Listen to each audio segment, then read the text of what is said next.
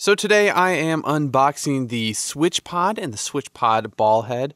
Uh, one thing that I really appreciate about just the packaging for both of these products is that it's very strong, you know, with the yellow and the dark, well, just black, you know, branding and logo and stuff like that.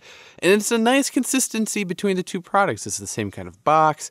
And talking about the boxes, these things actually feel like they're pretty quality. It makes the product feel premium before you even open them up. And one of the nice details that both of these have is the magnetic closures. And it's not really a big deal, right? It's not really necessary before just to, you know, ship them in. But it, it does feel nice. I really appreciate that. There's some nice secure foam holding both of these products in place, perfectly cut out for to fit around each of them. Now, I'm trying to practice flicking out the SwitchPod legs fast every time. As you can see here, just in, in the unboxing, right as I get it, it takes a little bit of practice, but I think I'll probably get it pretty quick. Uh, and I recommend don't try to put a camera on when the legs are in tripod mode, tabletop mode. Uh, this is actually easier with the legs folded together in handheld mode. You can just get at the uh, crank dial thing a lot easier that way. Uh, overall, the tripod plus the ball head, they're a little bit taller than what I expected, but um, I think that'll actually be good for vlogging type things. We'll see how it works out with putting it all on my desk it might be a little bit more uh, pointed down towards me when it's sitting on my desk than I really wanted it to, but we'll have to see how the videos come out.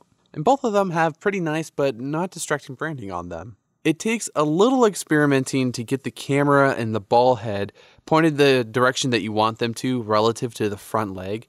So the front leg is actually the base position for all the legs in handheld mode. When they're all folded together, they're pointed the same direction as what the front leg is.